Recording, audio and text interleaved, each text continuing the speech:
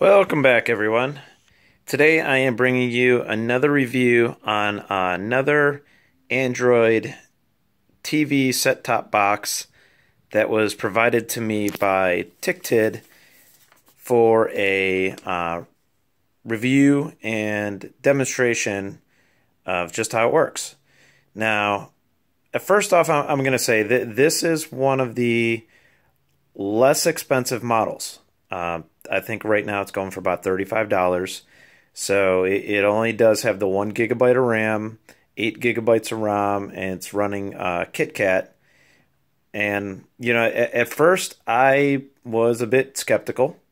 Um, I thought this wasn't really going to compare to the other ones I've had or reviewed.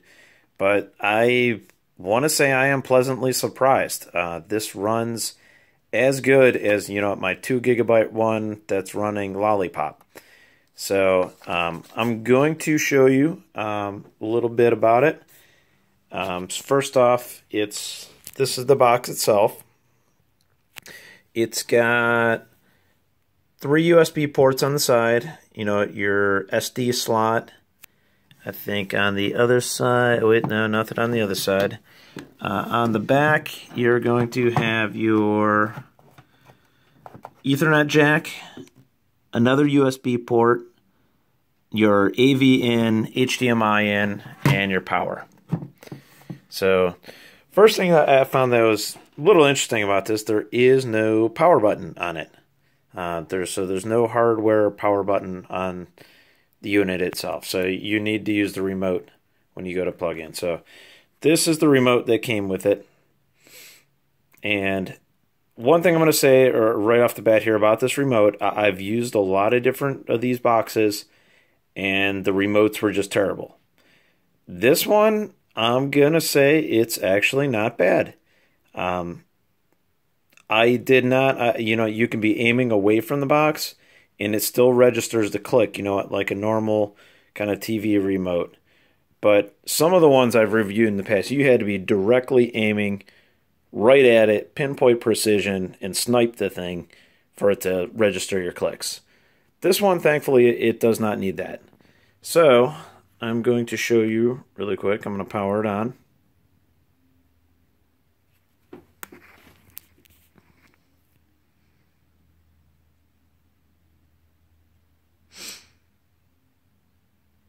It's relatively pretty fast to boot up.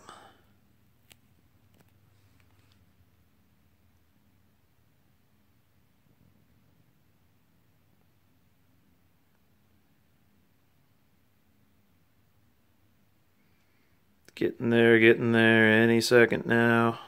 There we go. Okay, so again, like I said, it's running KitKat.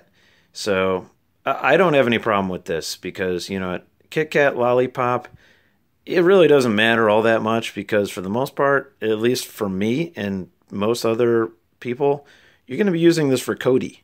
Uh, and then, so I mean, this is just you know when I boot this thing up, I go right down here and launch Kodi, and I'm pretty much done. Um, aside from Kodi, it does have other apps uh, you can use on it. I mean, it's got you know YouTube, Pandora, Netflix. You can get in your Gmail from it. Maps, I'm not sure why you'd want maps, but I mean, if you want to look up something. But uh, it, it it has everything that you know your standard Android smartphone would have. I mean, it, it's an Android. That's bottom line. Anything that you want on an Android, you can install on this. From emulators, uh, you can you know use a game controller and you know play Nintendo, Super Nintendo, Genesis, all the games that you've grown up and that you love. Well, depending on how old you are. But in any case, um, I'm going to show you the bread and butter. And that is Kodi. Now, I'm going to start off by saying it, it does come installed with Kodi 15.2. You can easily go to the App Store and upgrade it to Jarvis, which is uh, 16. And uh, I also, this isn't the you can do the TV add-ons by um, all you have to do is Google Fusion, and once you install Fusion, uh, there's a config wizard which will add all these nice channels here. And under these channels, you're going to find Eh, as soon as we say no thanks, all the different movies, TV shows,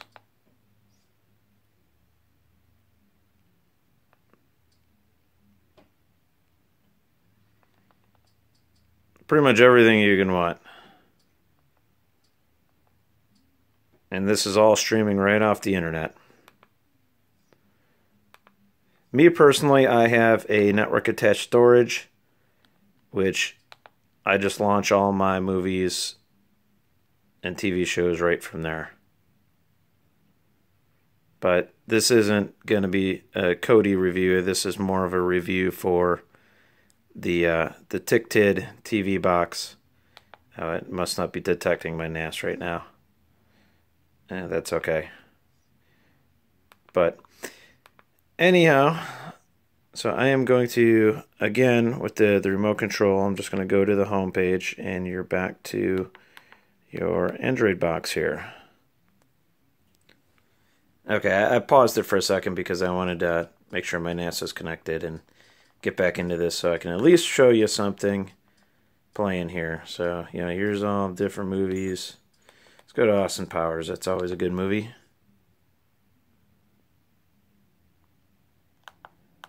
And voila. Dr. Evil. So that's it. Hopefully you found this informative and I have to say like again for the price of this unit it's you know comparable to your eighty dollar, hundred dollar units. Um, if you're looking for just something to you know watch TV shows and play movies, you know this works fine. Um, I'll post a link in the description. So hopefully you found this informative, and as always, you know thumbs up if you did. Thanks everyone.